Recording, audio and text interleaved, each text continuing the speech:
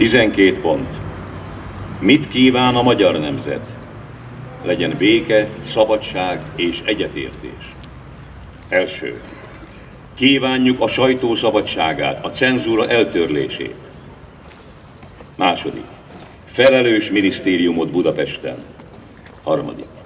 Évenkénti országgyűlést Pesten. Negyedik. Törvény előtti egyenlőséget polgári és vallási tekintetben. Ötödik. Nemzeti őrsereg. Hatodik. Közös teherviselés, képviselet egyenlőség alapján. Hetedik. Úrbéri viszonyok megszüntetése. Nyolcadik. Esküdszék. Kilencedik. Nemzeti Bank. Tizedik.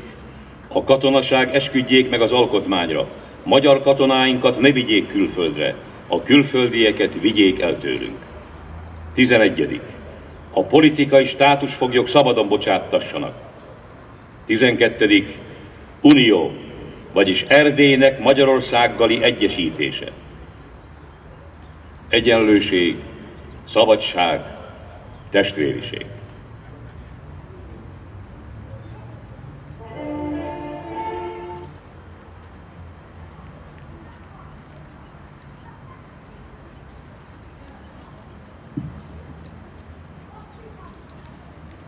Tisztelt emlékezők, ünneplő polgártársak!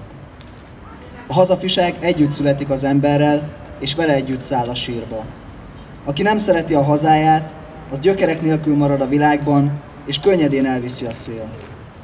Kisgyermekként, amikor először tűztem ki a mellemre a kokárdát, és hallgattam a nemzeti dalt, valami olyan semmihez sem fogható büszkeség fogott el, amit csak később értettem meg.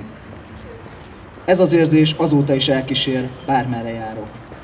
Ugyanezt érezhették a márciusi ifjak is 1848 márciusi dusán, amikor valódi tanúbizonyságot adtak hazaszeretetükről. 1848. március 15-e a bátorság és a szabadságvágy diadalának ünnepe volt. A legtisztább és legőszintébb kifejezése egy idegen elnyomás alatt élő nemzet leghőbb vágyának. Március 15-e a remény lobogó csillaga volt, valami nagynak a kezdete. A hosszú évek során felhalmozódott csalódottság és keserűség kitört az emberekből, és mindent magával sodort, ami az útjában állt. Március 15-e az ifjúság forradalma volt. Az emberi bátorság eddig soha nem látott megnyilvánulása. Az emberek tudták, csak akkor válhatnak szabaddá, ha először lelkük békjóit vetik le egyszer és mindenkorra. Ez egy hihetetlenül nehéz feladat. Egy elnyomó rendszerrel szemben kiállni, és azt mondani, elég volt, nem akarunk tovább így élni. Itt mutatkozik meg az igazi emberi nagyság. Ha jön a lehetőség, meg kell ragadni bármi áron. És 1848 márciusa megadta az esélyt a sors megváltoztatására. Március 13-án kitört a Bécsi forradalom, és már előrevetítette a további eseményeket. A Pilvax kávéházban gyülekező ifjak mindent kockára tettek. A 12 pont az elnyomók nyílt arcú csapása volt, a Landerer nyomda elfoglalása ezt tovább fokozta. A tömeg melléjük állt, és ettől kezdve nem volt visszaút. A bátorság igazi szimbóluma azonban az a fiatalember, aki kiállt a Nemzeti Múzeum lépcsőjére, és a tömeg előtt feltette azt a kérdést, ami a forradalom legfontosabb kérdése volt, vagyis hogy rabok legyünk, vagy szabadok. A magyar ember szabad, nem tűrheti, az, hogy szolgasorsban szenvedjen. Bár mindenki tudja, hogy kiről van szó, én mégis büszkén kiáltom a nevét. Petőfi Sándor. Az elnyomás bástyái kártyavárként omlottak össze egyetlen rövid nap alatt. A katonaság nem állt ellen, a helytartó tanács meghátrált a népakarattal szemben, a cenzúra pedig úgy tűnt el, mintha a föld nyelte volna el egyszeriben. Kinyomtatták a 12 pontot és a nemzeti dalt, a sajtóvédség miatt bebörtönzött Táncsics Mihályt pedig a tömeg diadalmenetben szabadította ki a börtönéből. Este a betiltott Bánkbán tűzte műsorára a Nemzeti Színház. Megvalósult a sajtószabadság. Sokan azt mondják, ez nem is volt forradalom. Nem voltak véres összecsapások, harc, káosz és zűrzavar. Csupán a tömeg elérte akaratát. Én azt gondolom súlyosan tévednek, akik így gondolják. Március 15-e igazi lángoló betűkkel írt forradalom volt. Igazi diadalmenet, a szabadság és a bátorság, az emberi nagyság diadalmenete.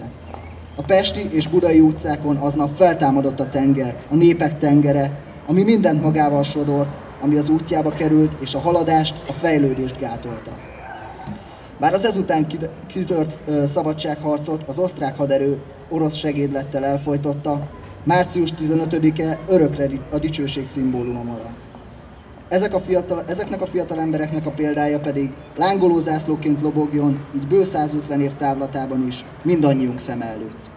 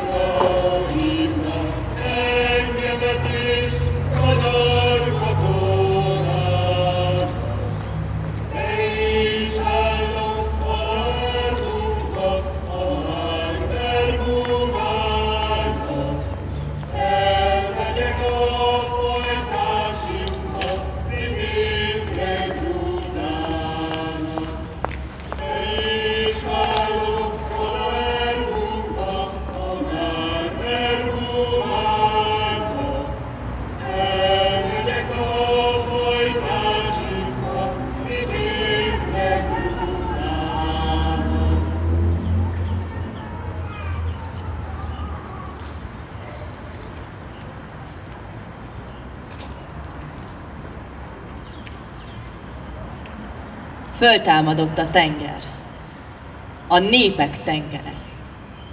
Ijesztve eget földet, szilaj hullámokat vett rémítő ereje.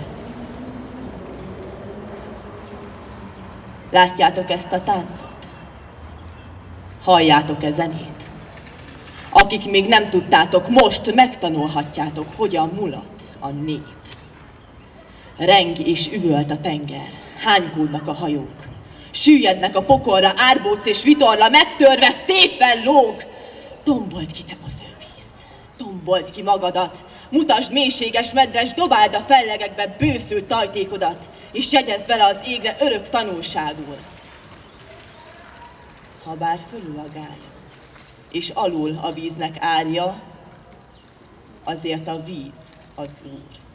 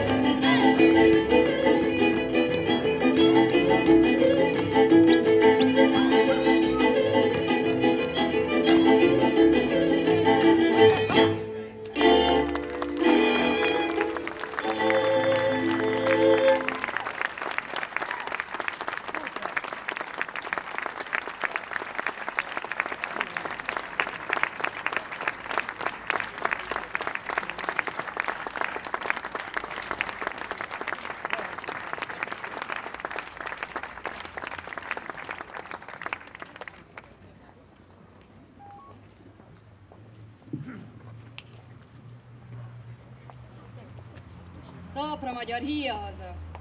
Itt az idő, most vagy soha. Hm? Rabok legyünk, vagy szabadok? Ez a kérdés. Válasszatok! A magyarok istenére esküszünk. Esküszünk, hogy rabok tovább nem leszünk. Rabok voltunk. Mostanáig. Kárhozottak. Ősapáinkig szabadon éltek haltak. Szolgaföldben nem nyughatnak. A magyarok istenére esküszünk. Esküszünk, hogy rabok tovább nem leszünk. Sehonnan bitang ember ki most, ha kell, halni nem mer. Kinek drágább a rongyélete, mint a hazabecsülete. A magyarok istenére esküszünk.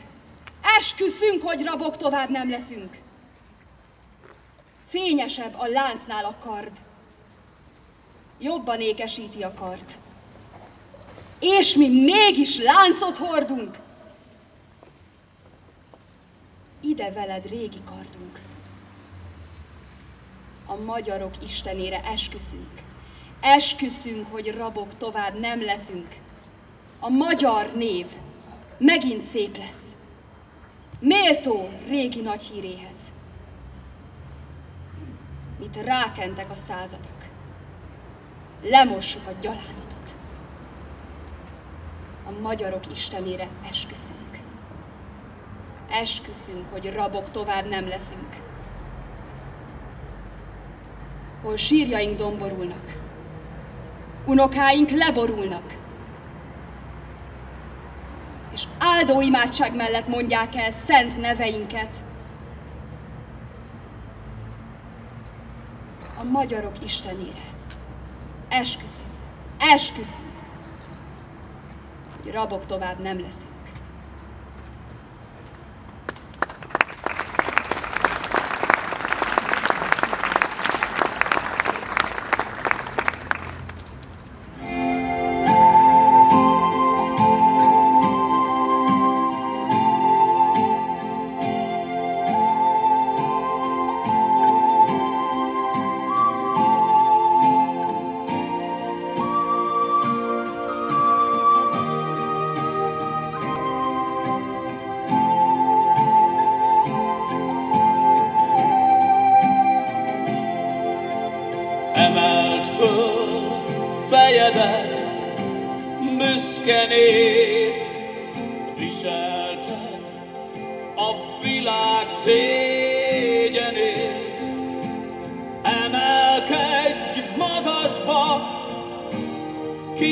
Hazádnak.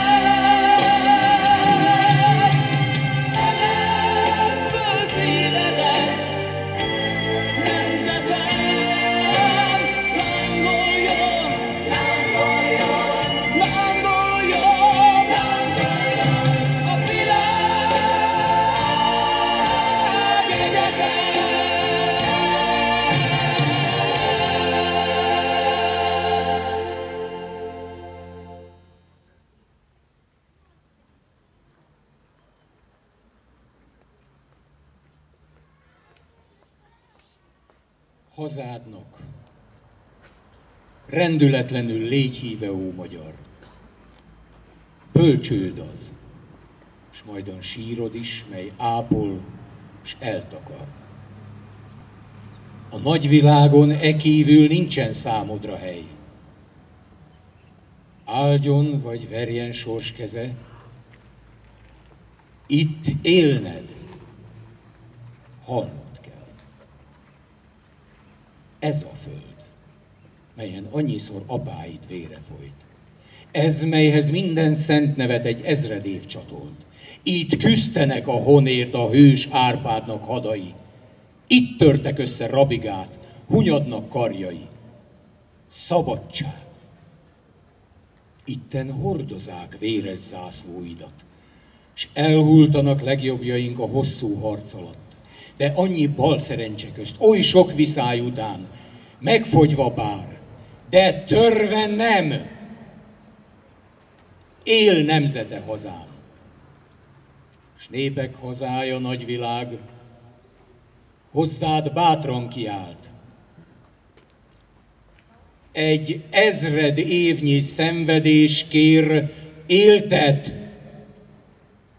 vagy halált. Az nem lehet, annyi szív hiába ont a vért, és keservben annyi hű kebel szakadt meg a honért. Az nem lehet, hogy ész, erő és oly szent akarat hiába sorvadozzanak egy átoksúly alatt. Még jönni kell! Még jönni fog! Egy jobbkor, mely után buzgó imádság epedes százezrek ajakán. Vagy jönni fog. Jönni kell, a nagyszerű halál, hol a temetkezés fölött egy ország vérben áll, és a sírt, hol nemzet süllyed el, népek veszik körül, és az ember millióinak szemében gyász könnyű. Légy híve rendületlenül hazádnak, ó magyar, ez éltetőd. És ha elbukál hantjával, ezt takar. A nagyvilágon e kívül nincsen számodra hely. Áldjon vagy verjen sors keze, itt élned, és halnod.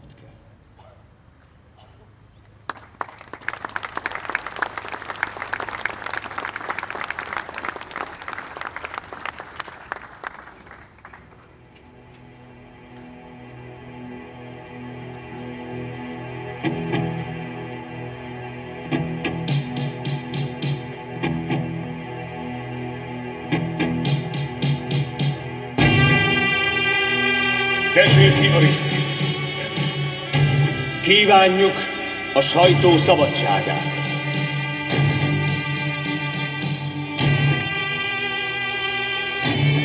Ismernek! Felelős minisztériumot Budán és Pesten. Lázár Vilmos. Évenkénti országgyűlést Pesten. Schweider József törvény előtti egyenlőséget polgári és vallási tekintetben. Öltenberg Erőt. Nemzeti őrsereg. Törött Ignác. Közös teherviselést. Wagner György. Úrbéri viszonyok megszüntetése. Krízis Károly. Esküdtszék képviselet egyenlőség alapján. Nagy Sándor József. Nemzeti Bank. Gróf Leiningen Westerburg Károly. A katonaság esküdjék meg az alkotmányra. Magyar katonáinkat ne vigyék külföldre. A külföldieket vigyék el tőlünk. Aulich Lajos. A politikai státuszfoglyok szabadon bocsátassanak. Damjanics János. Unió Erdélyen. Gróf Bécsei Károly. Egyenlőség, Szabadság! Testvériség!